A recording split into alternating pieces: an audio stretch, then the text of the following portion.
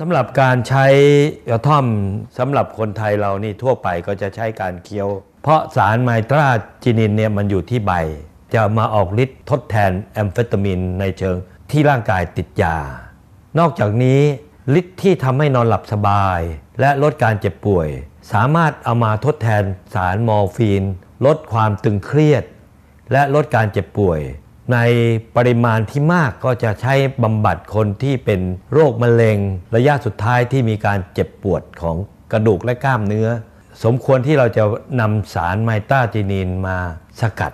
และเพื่อมาเป็นยาในการบำบัดคนติดยาเสพติด เพราะระบบการผลิตยาทางด้านเภสัชกรรมของประเทศไทยเราก้าวหน้ามากนะครับ ซึ่งต่อไปเนี่ยถ้าเรา ทดลองใช้และทำได้ ก็จะเป็นผลิตภัณฑ์ที่จะนำเงินตราต่างประเทศเข้าสู่ประเทศไทยมากมาย เพราะฉะนั้นเรามาช่วยกันนะฮะรณรงค์กันเพื่อให้ปลด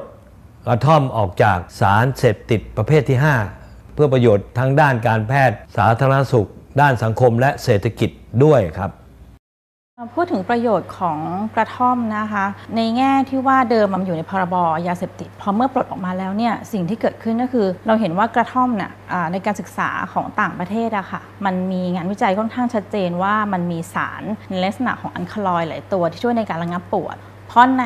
สภาพปกติของการใช้งานกระท่อมแบบใบสดของชุมชนทางภาคใต้เนี่ยก็คือเป็นการเคี้ยวแล้วก็ใช้เพื่อการทำงานได้หนักหรือนานมากขึ้นคล้ายๆ กับยาชูกำลังอะค่ะ แต่ว่าที่เราพบแล้วว่ามันจะสามารถมีผลดีหรือว่าผลเสียอื่น ๆ จากการใช้หรือแปรรูปเป็นอย่างอื่นเนี่ยเรายังไม่แน่ใจเรายืนยันว่ามันควรจะต้องกลับไปที่ผลของการศึกษาเชิงวิทยาศาสตร์ว่ามันสามารถที่จะมีผลประโยชน์หรือผลเสียอะไรต่อการใช้ในปริมาณมากน้อยแค่ไหนด้วยมากกว่าค่ะ แต่ว่าในสำหรับประเทศไทยเนี่ย โจทย์ที่เราเผชิญอยู่ก็คือเดิมเมื่อจากไม่มีการอนุญาตให้ทำการวิจัย มันก็ทำการวิจัยไม่ได้ เพราะฉะนั้นผลในเชิงวิทยาศาสตร์เนี่ยค่ะก็ไม่ปรากฏเด่นชัด ดังนั้นการที่เปิดโอกาสให้สามารถศึกษาทางการแพทย์ได้ผ่านการออกจากกฎหมายเนี่ยนะคะ ก็ช่วยให้นักวิจัยหรือว่านักเทคนิคทางการแพทย์เนี่ยสามารถวิจัยได้มากขึ้น ก็จะเป็นผลดีนะคะในการที่จะเชื้อเชิญให้นักวิจัยเนี่ยพวกเนี้ยเข้ามา เพราะว่ามันมีงานวิจัยหลายชิ้นค่ะที่เป็นนักวิจัยชาวไทย ทำงานร่วมกับต่างประเทศ ในส่วนขณะเดียวกันเนี่ยเรามองในแง่ของผลประโยชน์ของคนที่เป็นคนทั่วไปอะค่ะ มันก็จะได้ประโยชน์ในแง่อนาคตว่าถ้าเกิดสารที่มันอยู่ในกระท่อมเนี่ยสามารถที่จะรักษาโรคอื่นได้จริง มันก็จะทำให้เราเนี่ยสามารถผลิตยาในการที่รักษาของประเทศเราได้มากขึ้น แล้วก็มีราคาถูกมากขึ้น เป็นประโยชน์คนทั่วไปมากขึ้น